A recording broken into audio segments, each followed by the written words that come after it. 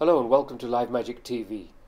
今年で6回目となるライブマジック今日紹介するのは奄美アイヌというユニットです。できたばかりのものです、えー奄美大島とアイヌとあの一緒になるものなんですけど奄美からは浅崎郁恵さんという、まあ、有名な民謡歌手。そして、えーアイヌの方はオキそしてオキの奥さんのレクポ。またもう2人の、えーアイヌの女性、えーカピューとアパッポ、えーとアルバムを出したばかりで、えーまだ映像はありませんので浅崎さんが、えーアイヌについて歌ったもののビデオをご覧いただきます。